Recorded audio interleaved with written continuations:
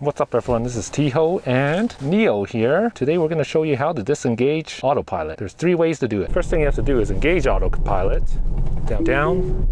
So the best way to do it is to disengage it through this right stalk right here.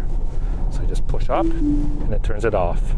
Now the second way to do it, which I don't really recommend, is hitting the brake right here and that will turn it off but that way you'll have to brake check someone. So you gotta be careful doing it that way. The last way to do it is to actually just shake the wheel, but I don't recommend this way for two reasons. One, it kind of shakes the car, and two, it leaves on adaptive cruise control. If you're not familiar with adaptive cruise control, that is, the car will control its speed, but it won't steer for you.